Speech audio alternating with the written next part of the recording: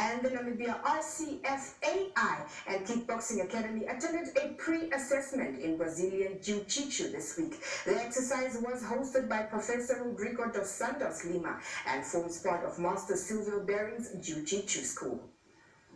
Brazilian Jiu-Jitsu or BJJ is a martial art based on grappling and ground fighting, focusing on the skill of controlling one's opponent through the techniques that force him or her to submit. The progressive guard is what sets this form apart from other Brazilian Jiu-Jitsu programs.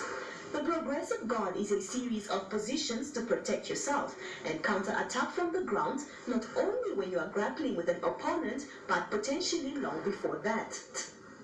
Such drills are a key part of martial arts training and the sport of jiu-jitsu in particular.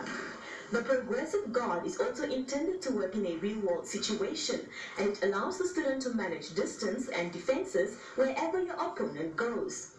All students had a chance to display their skills in the sport to Professor dos Santos Lima, who was pleased with the performances of all the students. Working on it is very good. Uh, big potentials in sports, jiu-jitsu, future jiu-jitsu sponsor in, in country.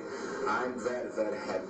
But today is grading, uh, basically self-defense. Uh, the uh, evaluation, my students, three months work in Namibia. Now, good results. I'm very, very happy. Rodrigo dos Santos Lima will be leaving for Brazil after three months of training in Namibia. After the